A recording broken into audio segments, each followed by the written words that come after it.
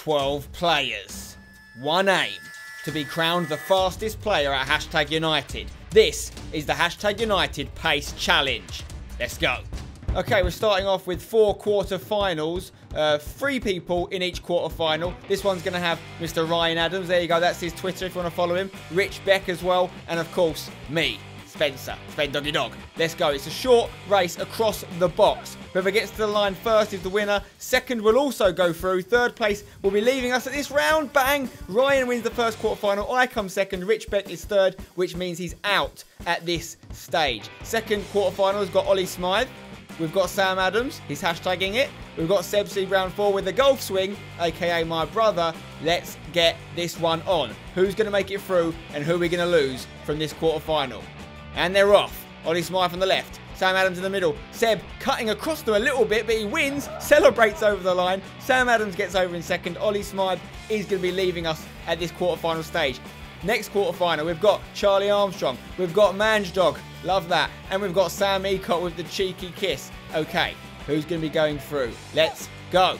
Charlie Armstrong's off to a good start. Faisal's with him all the way. Sam Ecott's lagging a little bit behind. It's tight. Very tight between Charlie and Faisal. They're both through either way. Sam Ecott is going to be leaving us here. Let's look at the photo finish. I think Charlie gets his chest over first, and that is how it's measured in sprint races.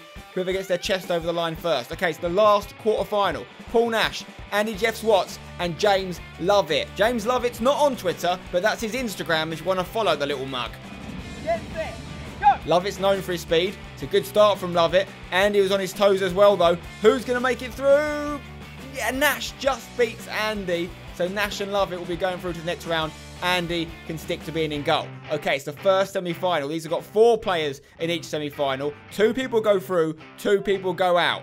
The first two, obviously, are going to go through. Here we go. Nash, Sam Adams, Charlie Armstrong, and Ryan Adams. There's two Adams brothers in here, but it's going to be Ryan and Charlie that get through to the final. Sam Adams and Paul Nash will be leaving us. Now it's the second semi-final. It's Seb, it's Faisal, it's me, and it's Lovatt. Again, two brothers facing off against each other. Who will make it through?